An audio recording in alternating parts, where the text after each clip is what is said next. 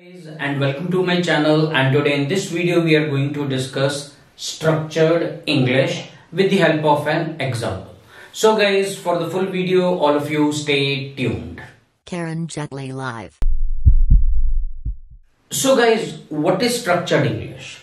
So guys the structured English is a simple English in which we document the business processes and the business rules in such a way so that it can be clearly understood by the programming team. It can be clearly understood by the programming team without any confusion. Okay. Now, what do mean? What do I mean by documenting the business processes and rules? See, guys.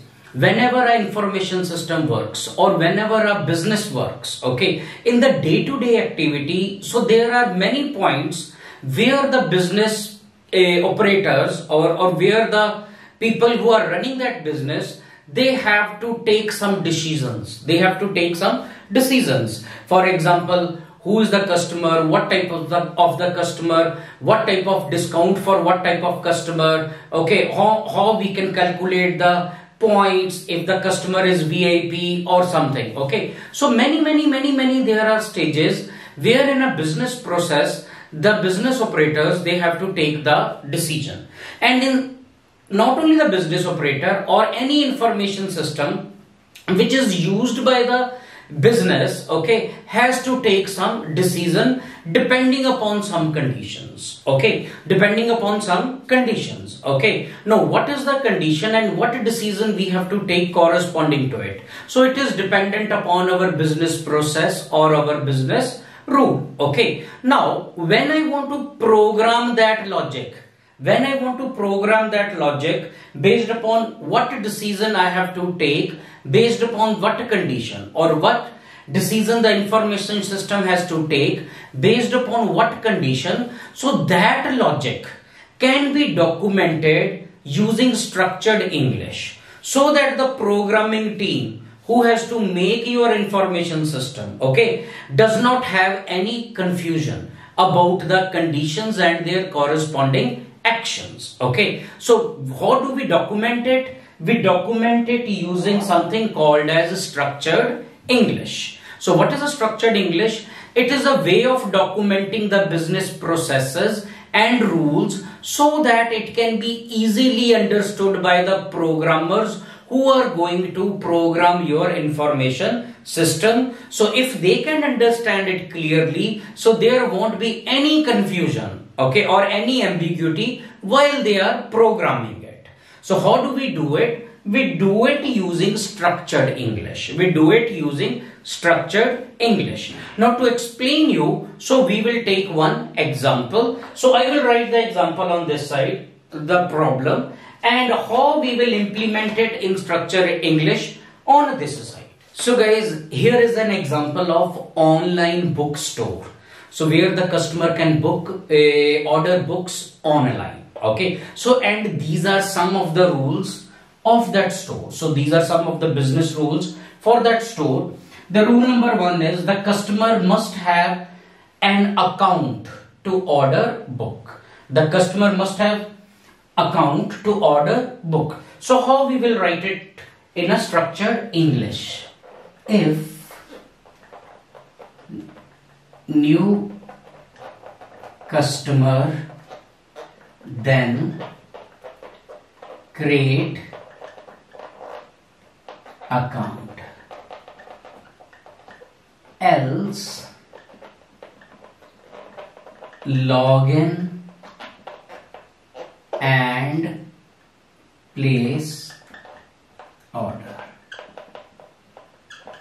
Okay, so the rule number one is customer must have an account. If the customer is new, so then the customer must create his account.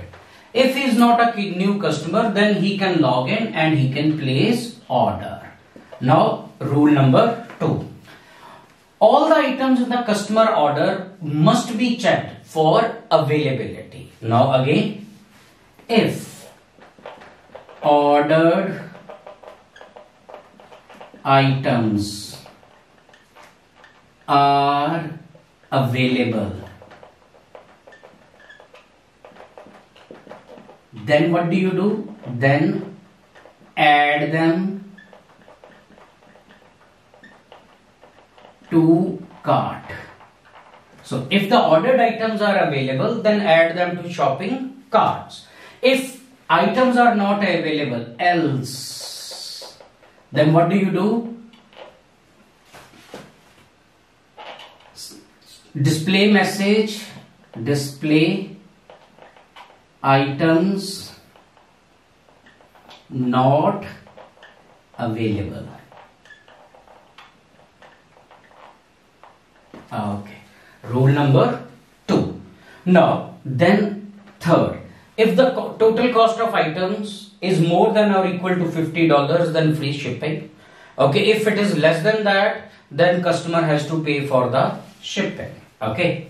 Now, then what happens is, okay, so here all the available items in the card, then what do you do? Then you calculate total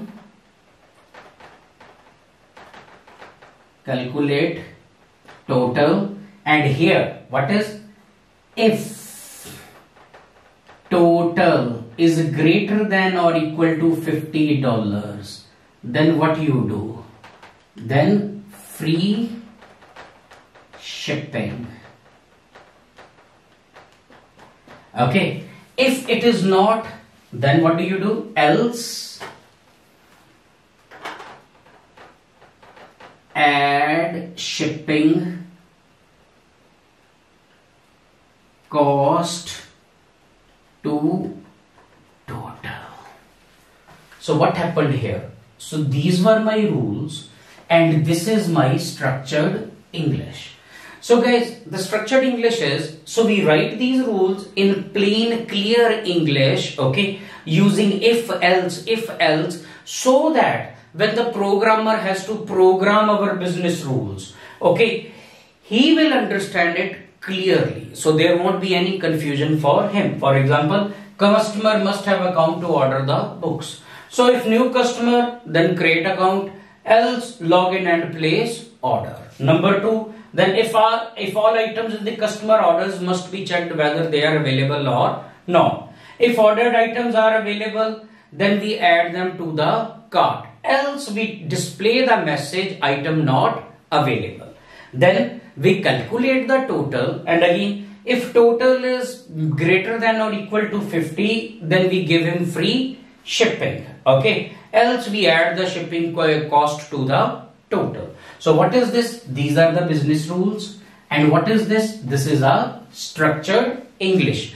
Basically guys structured English is very easy to write okay? And it removes all the confusion which a programming team may have may have okay? So some people also called structured english as pseudocode it is similar to your algorithm. So some people also call it as pseudocode because it is like a program code written in english. Pseudo means false. It is like a programming code written in english language. And easily from this logic you can program it in any programming language.